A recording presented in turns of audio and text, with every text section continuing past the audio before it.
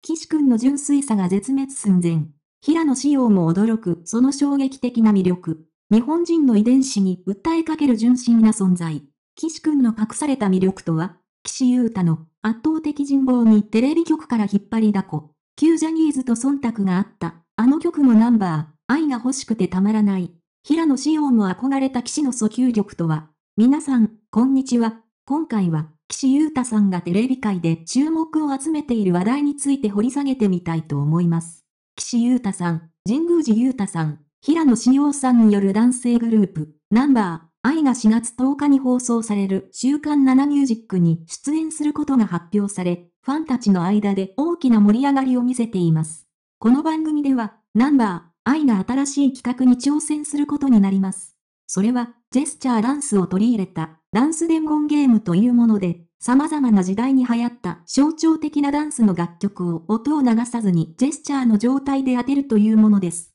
さらに、番組の人気企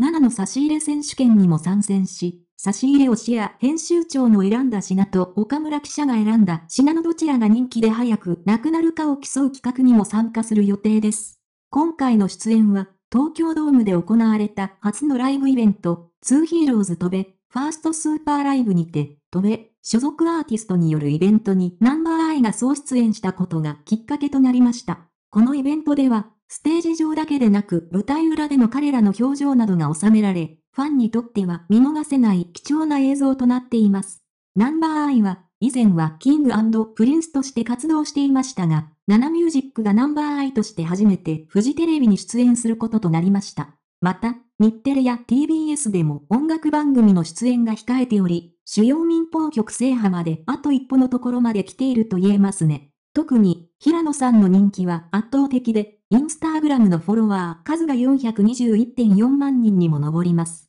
今年に入ってからは、次々と CM 出演が決まり、広告キャラクターとしても活躍しています。一方で、岸さんのファンだけでなく、仕事仲間やスタッフからも大きな人望を集めています。金プリ時代からバラエティ番組での活躍が多かった彼ですが、その人柄で多くの人との良好な関係を築いています。ナナミュージックやメズミュージックへの出演を通じて、岸さんの魅力を再確認したファンも多いようです。町田博明氏や島田総一郎氏など、番組関係者やプロデューサーたちも岸さんに注目し、彼の面白さや人柄をファンに伝えるために努めています。また、日テレの社長である石沢ター、岸さんを鉄腕ダッシュの大切なファミリーと考えており、今後も彼との関係を大切にしていく方針を示しています。岸さんの愛される人柄やその才能は今後もナンバーアイにとって欠かせないものとなるでしょう。彼のバラエティ番組での活躍や圧倒的な歌唱力に、これからも多くの人々が注目し続けることでしょう。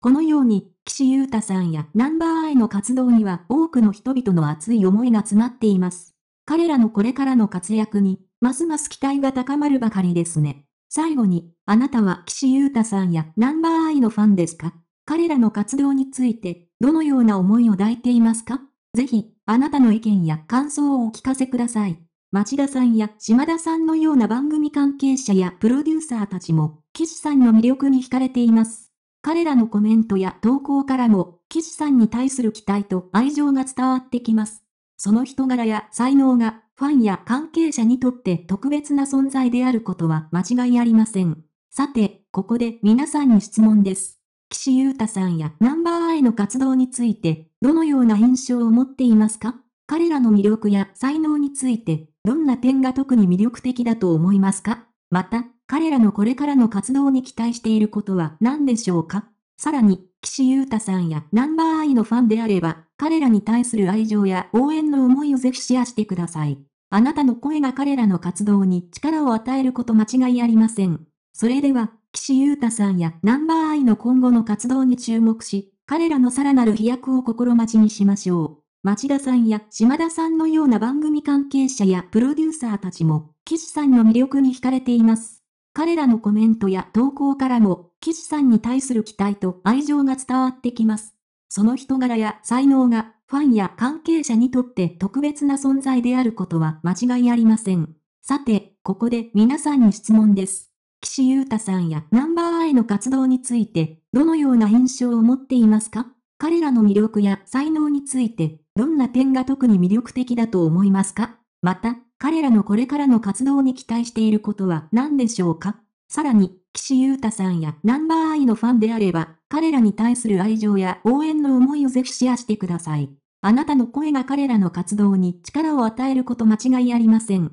それでは、岸優太さんやナンバーアイの今後の活動に注目し、彼らのさらなる飛躍を心待ちにしましょう。はい、そうなんです。岸くんはこれまでの仕事も大好きで一生懸命全力でやってきたのは、岸くんを知ってる人ならみんなが知ってる。関係者の方々なんて特にそうなんだろうな。羨ましい。事務所はもう違うけど、こうやって縁あって向かい合って全力で楽しんで築き上げたものが確実に次の形になることが嬉しいし、心ない言葉なんて関係ないやじでしかないんだぞ。って安心できる。少しずつまた、岸くんの元気な姿とパフォーマンスを地上波でも見れるのはやっぱり嬉しい。頑張ってて実力あって周囲も応援したくなる人は認められる世界なんだって、ナンバー、愛とその関係者の方々がこう見せてくれてる。岸くんは本当に周りから愛されてるなって感じます。優しさがあり、面白さもあり、なんと言ってもあの笑顔が大好きです。ステージに立つとスイッチが入ったかのように豪快なパフォーマンスとすごく綺麗な歌声を聞かせてくれて普段とのギャップにやられます。